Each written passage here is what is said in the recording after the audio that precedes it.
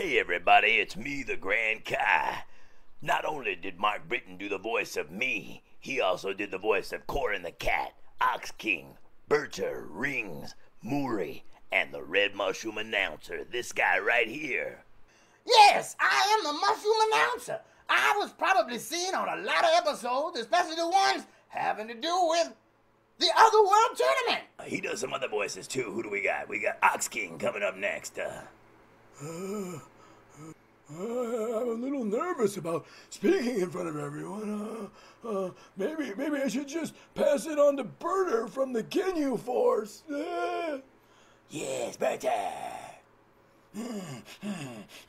yeah, I am Burter. I'm Burter from the Ginyu Force.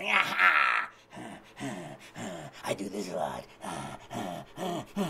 And you know what else I like to do? I like to do weird things, like this thing called the Purple Spiral Flash Attack.